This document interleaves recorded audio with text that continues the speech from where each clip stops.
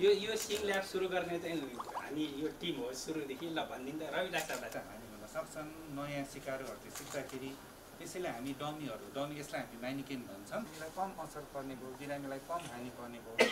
यसरी यो सिमुलेसन भनेको हामीले अनि यो इभेन्टपछि उहाँलाई के के राम्रो कुरा गर्नुभयो के के अझ सुधार गर्नुपर्ने कुराहरू छन् ब्रिफिङ गर्छौँ। हस्पिटल मध्येमा पर्दो रहेछ। अनि त्यहाँ पनि यो डमी चाहिँ बिरामीहरू राखेर गरिबहरूले बढी आश गर्ने भरोसा गर्ने अस्पताल त्यसपछि आएर चाहिँ यसमा चाहिँ असाध्यै राम्रो रेस्पोन्स। विशेष गरी बिरामीहरूबाट त यति राम्रो रेस्पोन्स आएको छ र लामो पालो पुर्न नपर्ने भयो।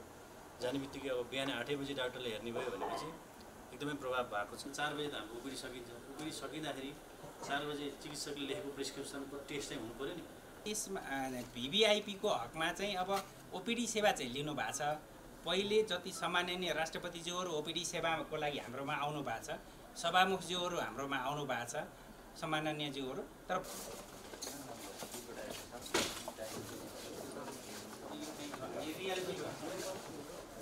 डमी डक्टर रवि खान्छ अक्सिजन सप्लाई कन्सन्ट्रेटर छन् भेन्टिलेटर पनि छ मान्छेहरू यो भेन्टिलेटर पनि छ यो ती मान्छेले काम गर्छ त्यो ट्रेनीले गरेको चाहिँ उताबाट हामी मनिटर सत्तरी जिल्लामा विस्तार गर्ने हिसाबले हामीले काम गरिरहेको छौँ भन्नुभयो नि। यो अहिले चाहिँ कति जिल्लामा सुरु भइसकेको छ? त्यो टिमले गएर त्यहाँ उनीहरूलाई समस्या केही पऱ्यो भने हेरिदिन्छ। केही समस्या पऱ्यो भने उहाँहरूले डाइरेक्टली फोन कल गरेर चाहिँ यहाँको हाम्रो स्टाफहरूसँग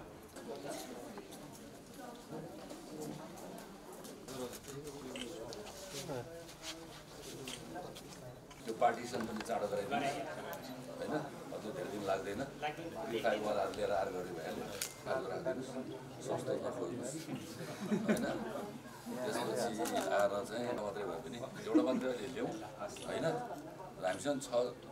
अब त्यो त्यसबाट दिने सर्भिस। मन्त्रीजीले भने जस्तै नामको लागि मात्रै मेडिकल बोर्ड सिफारिस गर्नु अब हामीले एउटा सिस्टम फेरि विकास गरिरहेको छौँ। यो धेरै महत्त्वपूर्ण विषय हो। यो प्रेसक्रिप्सन अडिट गर्ने अधिकार छ।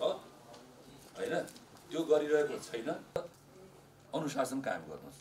अनुशासन कायम नगरिकन व्यथिति समाप्त हुँदैन। तर नभए पनि दुर्गम ठाउँका जनताले घरबारी बेचेर केन्द्रमा आउन नपरोस् उपचार गाउँमा हुन सकोस् यति हो हाम्रो। संवेदनशील विषय हो। त्यो पनि नि शुल्क संविधानले ग्यारेन्टी गरेको छ। यहाँ शुल्क तिर्दा नि भने पाउनु छैन। लाख मान्छे मसँग बसी हुन्छन्। अहिले अहिले बिहान एघार बजे बाह्र बजे कुर्नुपर्ने मान्छेहरू।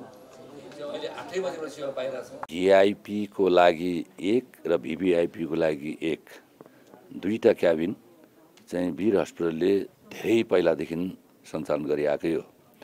त्यसमा ओपिडी सेवामा भिआइपीहरू आउनुभयो अरे तर भिभिआइपीहरू खास त्यसरी आउनु भएको छैन। र यहाँ चाहिँ उपचार गरेर यहीँ बस्ने गरी चाहिँ हस्पिटलाइज भएर बस्ने गरी भिभिआइपीहरू चाहिँ छयालिस सालभन्दा पछि आउनुभएको रेकर्ड रहन्छ। हिजोको जमानाका तत्कालीन राजा महाराजाहरूबाट आउने अब हाम्राहरू भिभिआइपीहरू नआउने। यो गुनासो बाहिर जनतामा पनि यता तत्र छ।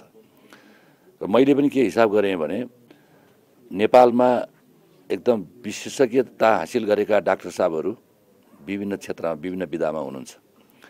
बाहिरका युरोप अमेरिकाका डाक्टर साहबहरू यहाँका डाक्टरसँग पढ्न आउनु भएको पनि मलाई थाहा छ। तर यहाँ कस्तुरीको ना यहाँ नाभि बिना भा कस्तुरीलाई थाहा नभएर सुँग्दै हिँडे जस्तो भयो। यहाँ यत्रो उपचार गर्न सक्ने ठाउँ हुँदा बाहिर दौडेर हिँड्ने। जसले राज्यको ढुकुटी पनि नोक्सानी भयो। पार्लियामेन्टदेखि सडकसम्म अथवा सडकदेखि सदनसम्म यो कुरा उठिरहेछ। त्यसैले मैले चाहिँ अब यसलाई देशका भिभिआइपी र भिआइपीलाई नेपालमै उपचार गर्ने पद्धतिको विकास गरौँ भनेर मैले यहाँ न्याम्स र वीर हस्पिटल दुवै कलेक्टिभली मैले राखेर कुरा गरेँ। कुरा गरेपछि उहाँले यो त राम्रो कुरा हो भन्नुभयो। होइन हामी पुरा समर्थन गर्छौँ भन्नु। उसो भए भिआइपीको लागि पनि एउटा बेड बढाउनुहोस्। दुईवटा भिभी यो भिआइपीको लागि दुईवटा भिभिआइपीको लागि एउटा बेड एउटा क्याबिन बढाउनुहोस् भने मैले। अब अहिले यहाँ चाहिँ दुईवटा भिभिआइपीको लागि तिनवटा भिआइपीको लागि तयार भइसक्यो।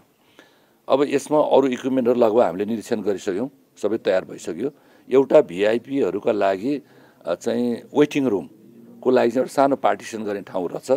त्यो पार्टिसन चाहिँ अब तुरन्तै उहाँले गर्नुहुन्छ। र दुई जोर सभा सेट यहाँ चाहिँ राखेपछि यो सबै कम्प्लिट हुन्छ र उपचार हामी आजैबाट सुरु गर्न सक्छौँ। त्यो तयार भइसक्यौँ।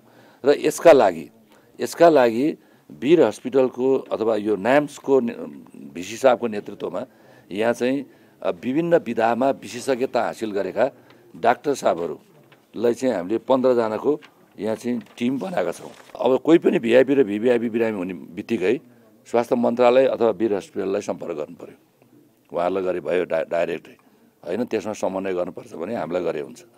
र हामी राम्रो उपचार हाम्रा भिभिआइपी र भिआइपीहरू हामी यहाँ गराउँछौँ।